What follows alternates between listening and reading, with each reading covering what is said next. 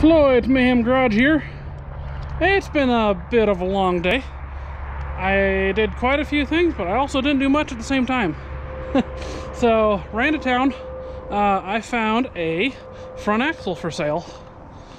And I've been having some thoughts on my crew cab. Oh, you can kind of see that in the dark over there. I bought a bunch of stuff to make my crew cab a dually. I thought it'd be pretty interesting, a crew cab short bed dually. But I'm kind of not entirely sure on that project. I'm, I'm really, I really like how it looks as a single wheel. So I think I want to keep it a single wheel, for now at least. I mean, I do still have everything for the dually conversion. So that still may happen, but one of the main things is with the dually conversion, so I don't have a good set of tires. So I've got to buy six tires for that. Otherwise, it's, it's not, there's not a really, it's a, it's a pretty big project. I'm gonna have to modify the beds. I'm gonna have to make those uh, dually flares work. Uh, the front end that I have, which is that Dana 60 dually front end, needs completely rebuilt. Uh, the ring and pinion might actually even need replaced on that too. I haven't torn it apart to look yet. So, I have been kind of on the outlook or lookout for an axle, and I found one. So I found the hard hard side to find, which is the front axle. So this is out of a 90s uh, Cummins truck, uh, like a 90 to 93 era. So it is a Dana 60. It's kingpin style, lockable hubs with three, one, I think they're all lockable hubs, but 354 gears which is what I want to mainly go with on this truck because the gearing right now with the Cummins, it really helped with the 5-speed, but the 410, so this just doesn't do the greatest on the highway. It's a higher RPM than I would like, so I've been wanting to get some different axles, so now I need to just find a either a Dana 60 or a Dana 70 rear axle single wheel with 354 gears, which should actually be quite a bit easier to find than one of these. So yeah, did that today while I was in town. Uh, I got my torque converter. I was having a torque converter rebuilt. Picked that up. That is for the Coronet project, if that ever gets going here, whenever the weather cooperates. Because I still got to pick that up. So that's happening. Picked that up today. And while I was in town, I ended up stopping by Taylor's new job.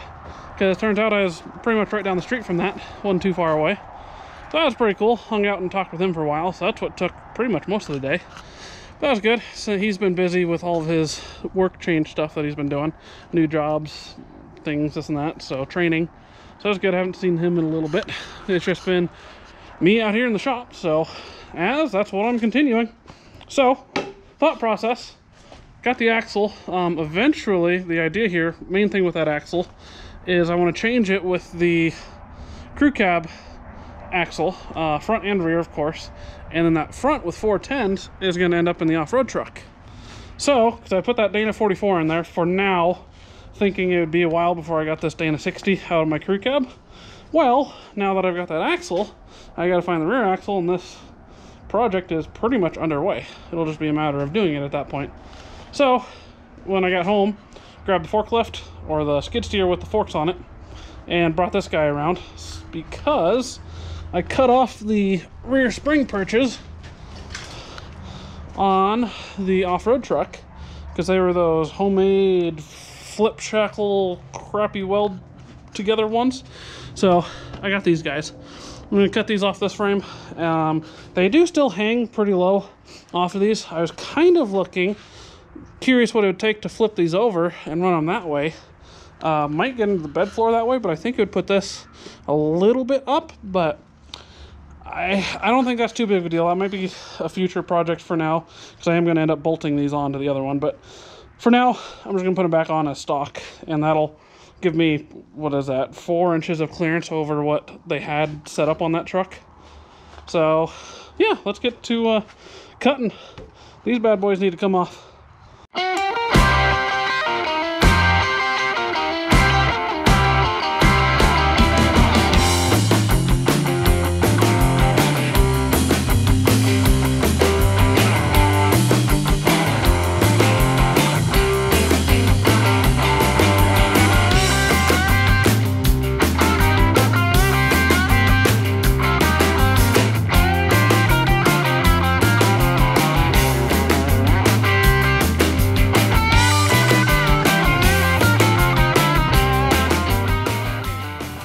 It's not bad right here in front of the shop, but kind of all around, it is horrible today. It's super windy. So, good time, even though it's, you know, sunshiny and nice outside, it's too, too, uh, too windy out there to be doing anything. So, got the off-road truck in here. And, uh, yeah, I got those spring perches off of that frame. So, I'm gonna pull the uh, end cap off here. I ended up just, uh, uh, nothing's welded yet. I ended up just check, uh, not even uh, screwing it on. Screws there and screws there and did that on both sides. So I just gotta pull off a couple screws and this whole end comes off again. And then that'll allow me access to the frame down here.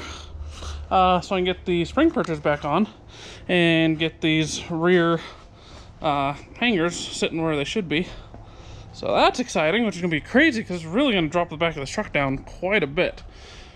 Which is also going to fix pinion angles and stuff like that. So that's that's going to be really neat. And then, yeah, so hopefully that shouldn't take too long. I'm just going to bolt those on. Uh, I mean, the hole should be identical. They should just literally go right on. And then it'll be tackling this body. So, as always, you know, I spent a whole lot of time making sure I measured this real straight. it doesn't seem to be perfect, so I have to do a little bit of tweaking there. And I wasn't figuring I'd get this together real perfectly anyways, but I'll get that. Uh, I grind them, grind them out, because this one's got a bunch of that like uh, original filler and stuff in there, but get them cleaned up, ground down, and then welded back together. And weld the floor back together and yeah, I think that's that's where we're at. See how long this takes and we'll go from there.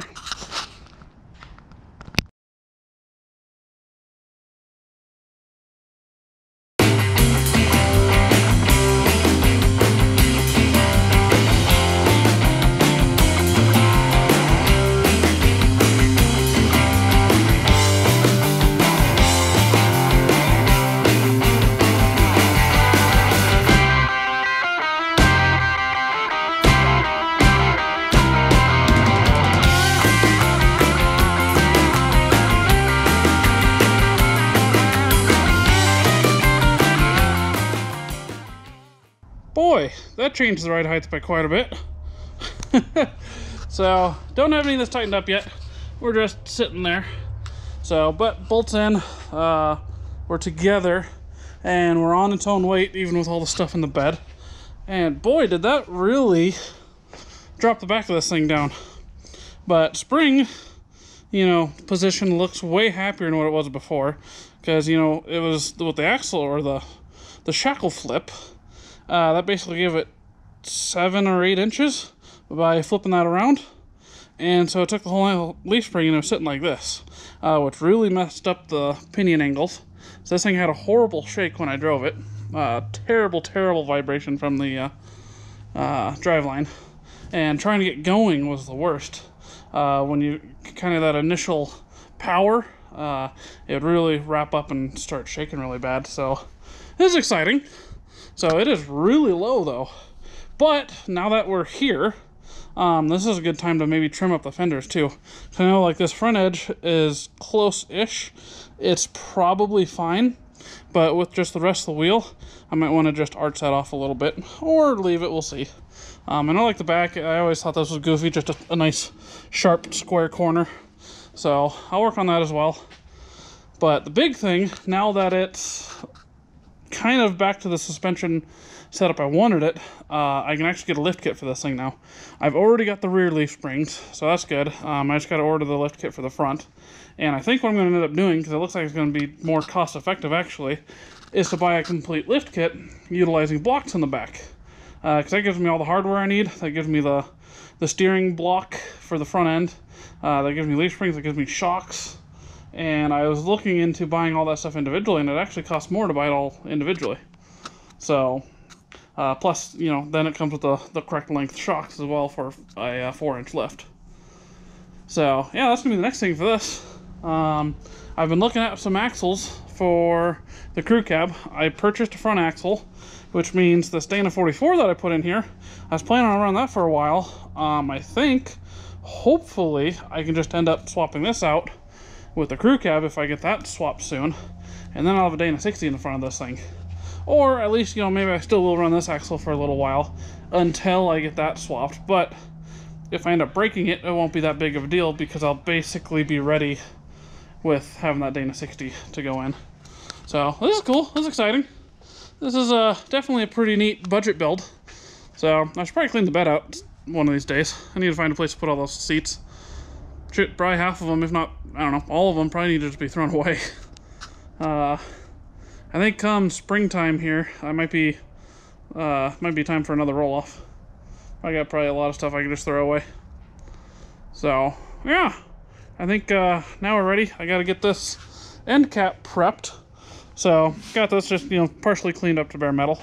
Um, I'll try to get some of this kind of ground down, get it to fit as close together as I can. And then I think I'm going to tack it together. So, yeah. Let's make that happen. Making some progress. Alright, chilling out too, so heater's on. But, uh, not spending a whole lot of time on the floor itself. That, I really, I'm not really too worried about how that's going to look. Uh, spent a little bit more time on the body. Uh, this side, I had a decent little gap here uh, that I needed to fill up, but I trimmed down to the bottom quite a bit and we're getting kind of off, so I just decided that was good enough. So I left that. I can fill that up. This side is pretty good. that side was bent pretty good, so it didn't go back together as well. This side went back together pretty well. And got a dent down here. Oop, I run out of diesel. But, a little bit of a gap at the bottom. Not bad. I'll uh, finish stitching that back together. And may or may not see body filler on this. We'll see. Yeah, and then some pretty good gaps in the floor. Um, I'm thinking, just structurally wise, I might might take part of the old floor and lay it over here and just booger weld the hell out of it just so it's structural or just keep cobbling up on here and grind them smooth-ish and call it good. So realistically, this doesn't need to be too terribly strong. As long as there's a lot of strength in here, um, it'll hold the tailgate up. And then it, uh, the bottom section, being the kind of channel that it is, it is going to be bolted to the uh, the frame. So should work pretty good. Yeah, that's where we're at. Keep on welding that was eventful. So, as it turns out, since last time uh, you saw me working on this bad boy, uh, I parked it outside and I forgot to film it. And, uh, or, you know, forgot to film with it to do a follow-up. And then it snowed and it was cold for a few days, but now it's kind of nice and sunny for a moment. We're supposed to get some more snow again, but I can do a finish-up video now. uh, I got this thing, been working on it. It's still not lifted, still same there. But I was working on the bed here, and since it snowed, this is all nice and rusty now, but that's not really the end of the world. Um, I'm probably just gonna keep stitch welding it and grind it smoothish and call it good, and rattle can black over it. But I also started sanding on this because I was really confused with this truck. So you look at part of it, um, inside the bed, obviously baby blue. We got baby blue up here uh, through, I think it's the fender. Yeah, we got dark blue up here on top of the fender. And I think the front radiator support is light blue. The other door had parts of dark blue on it or something. But, so I started sanding this down, and amazingly, it's baby blue and dark blue. But dark blue looks like it's over the baby blue, but it's only, it literally stops right here. So I have no idea what was happening with this truck. Um, I was just curious to see what it looked like under here. And in hopes of kind of getting this whole thing sanded smooth, kind of got me into the inspiration. I was thinking of doing it just black, but I might end up trying to do some sort of like patina style paint job on this. Could be really fun, because of course with this truck, if I screw that up, it really doesn't matter. The whole thing is gonna go flat black anyways. So I might play with that in the future, but until then, this is where we're at. I gotta get this back in at the shop uh, garage at some point here. Uh, finish welding this up, grind it smooth, call that good. Um, I've really got to touch up the middle here. I've only got all this tack welded. A few tacks here. Uh, I got a big gap here. I'm probably honestly just gonna leave that. Or I might just kind of cap it and do sort of something ugly, but I at least get this all welded back together so it doesn't fall off. And then of course I gotta get some taillights back in it. I gotta find a non-broken tailgate for this side. Um, this whole bed side is loose and bent, so I'm probably gonna have to maybe weld a support in there because we got some rust in here or something. We'll see. I'll have to play with that. But I got quite a bit of movement out of this. So yeah, that's where I stand. Well, uh, I'd really like to get the lift kit on this thing. So hopefully that happens soon. Ish. Been working on some other stuff. So you'll see those videos coming up. So uh, stay tuned for those. And until then, we'll see you.